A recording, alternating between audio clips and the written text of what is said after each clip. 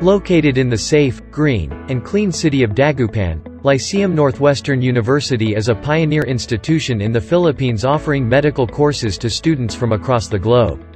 Established in 1969, the university is committed to excellence, offering high-quality education to all its students through the support of its state-of-the-art infrastructure and facilities such as anatomy labs with cadavers, digital 3D Anatomage table and simulation labs, physiology and biochemistry labs, pathology labs and air-conditioned modern lecture halls.